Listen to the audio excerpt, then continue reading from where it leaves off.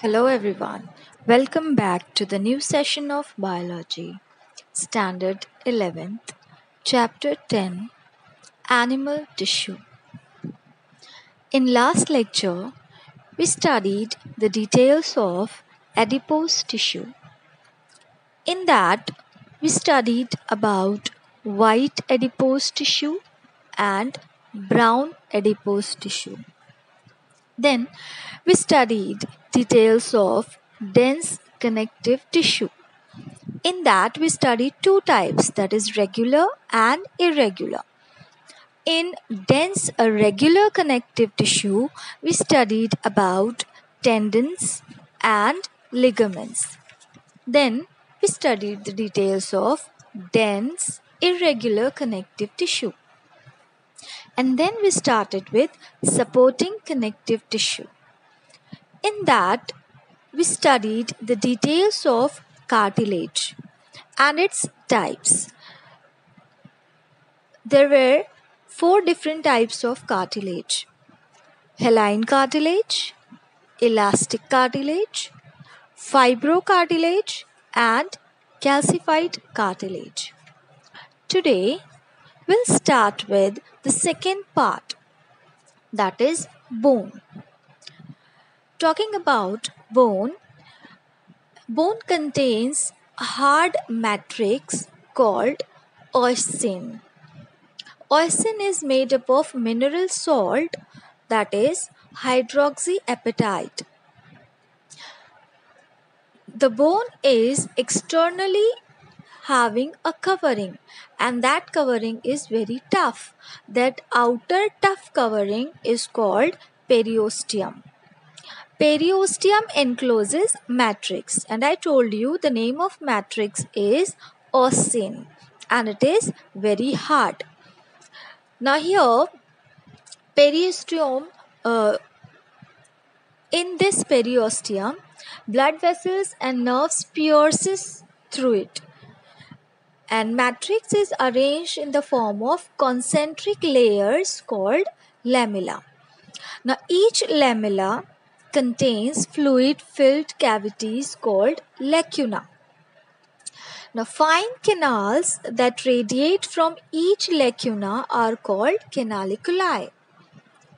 Canaliculi of adjacent lamella connects with each other as they transverse through the matrix. Now in lacuna you will find different types of cells are present. They are osteoblast, osteocytes and osteoclasts. Here you will find osteocytes and osteoclasts are inactive bone cells whereas osteoblasts are active bone cells. Now, if you see a mammalian bone, then mammalian bone shows a peculiar Haversian system which contains Haversian canal in the center. Haversian canal encloses an artery, vein that is blood vessels and nerves. Now, there are two different types of bones present in human body. First one is spongy and second one is compact. We have to study the details of these two. In short, now talking about spongy bones, you will find in spongy bones, Haversian system is absent. So you will find there will be gap in between. You will find reticular matrix is arranged in the form of trabecula. It contains a red bone marrow. Whereas if we see a compact bone, in this the matrix shows presence of Haversian system. That means there is no space among them. Between lamella there is no space present. So that's why they are called compact. Now coming towards the next part that is muscular tissue. Talking about muscular tissue, muscular tissue we know it consists of different types. Uh, first, let's study the introduction of muscular tissue and then we'll study the types of muscular tissues.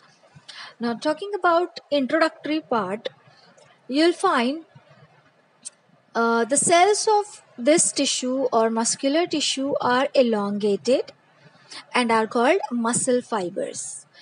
Each muscle fiber is covered by a membrane called sarcolemma. Cytoplasm of muscle cell is called sarcoplasm. So remember the outer covering is sarcolemma.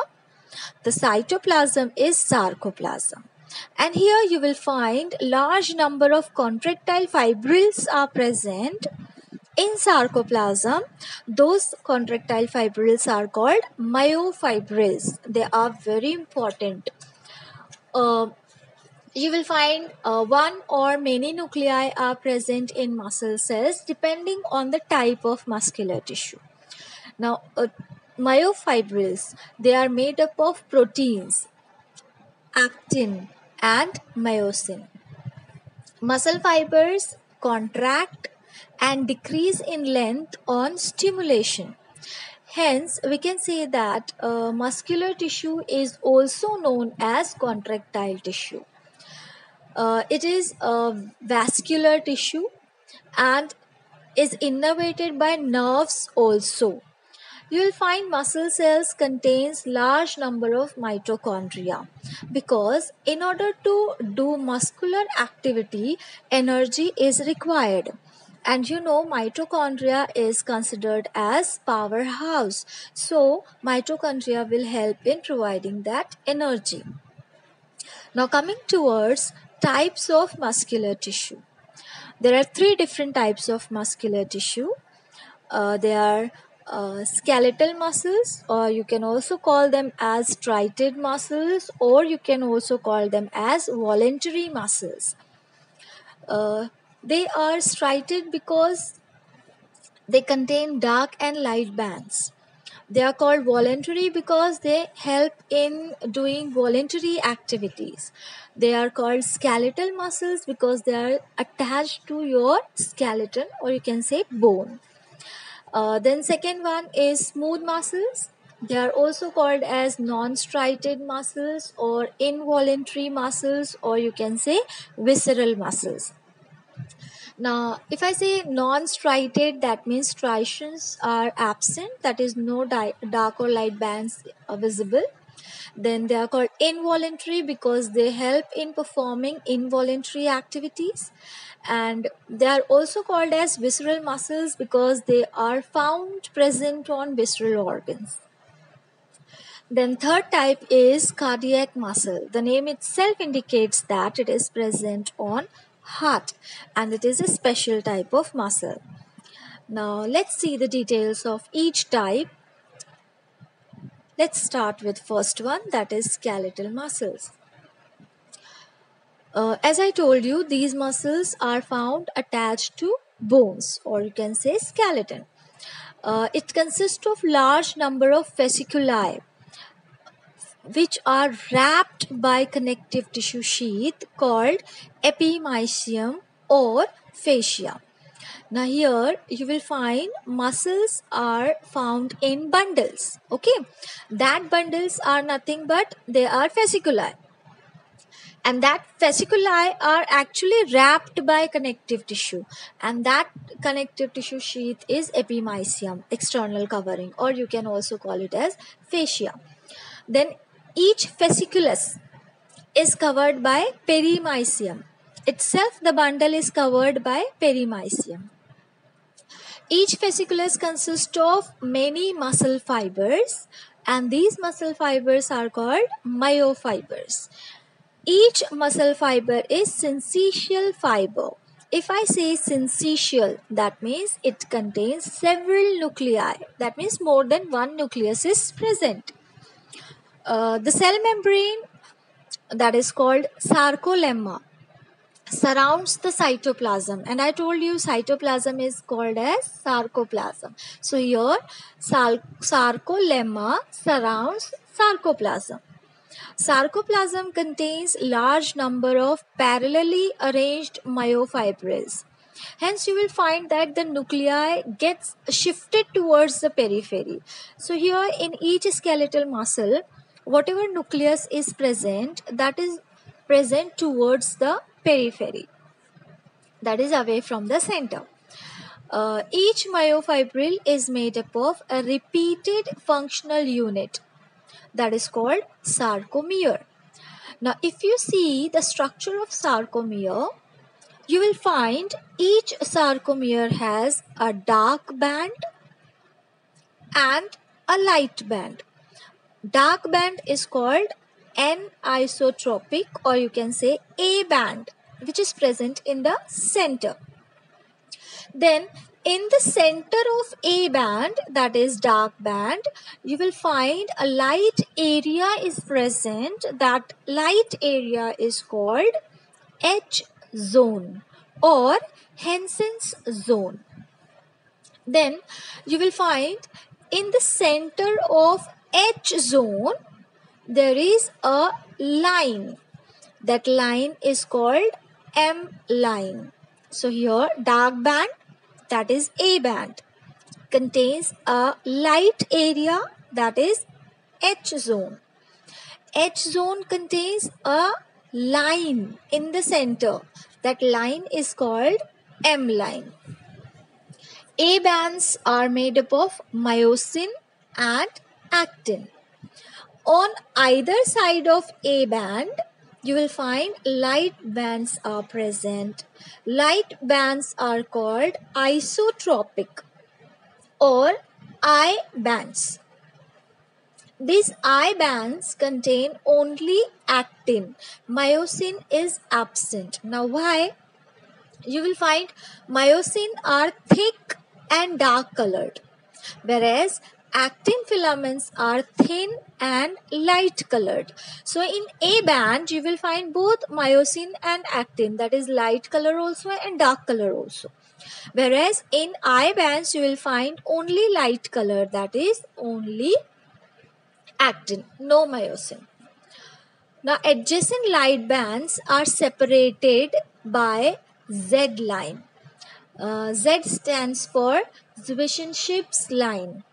So here dark and light bands on neighboring myofibrils correspond with each other. Hence you will find striations can be seen clearly. So as striations that is uh, light, dark, light, dark like these bands can be seen. That's why we call this muscle as striated muscle.